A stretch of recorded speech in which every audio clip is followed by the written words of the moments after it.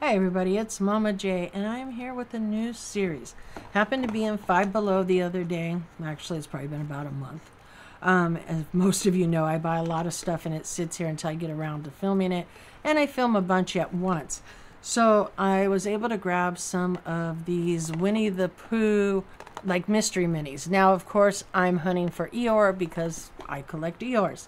So we're going to go ahead, we're going to bust um, one of these open each week and see if we can score an Eeyore, Eeyore, Igor, an Eeyore. Don't forget though, make sure you're commenting on every video because that's how you get entered into that series giveaway. And if you're a Patreon and you comment on all the videos, you get the extra entry, but you also get an entry just for being a Patreon. So if you're interested, there is a link for that down below, okay? But anyways, let's go ahead, pop open this, and see if we can score an Eeyore.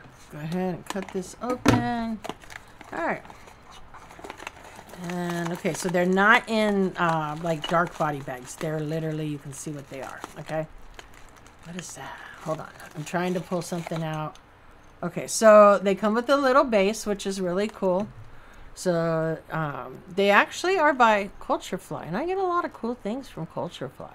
You've seen me open uh, the Tiny Mite Batmans, the Tiny Mite Scooby Doo's. Those all came from Culture Fly too. And we got, ooh, these are pretty heavy duty, but we got Rabbit. Look at there. He's a cutie. So we ended up getting Rabbit.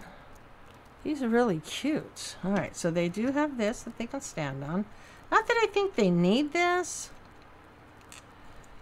But there we go. So we got Rabbit. Very, very cute. So, unfortunately, is there a list in here?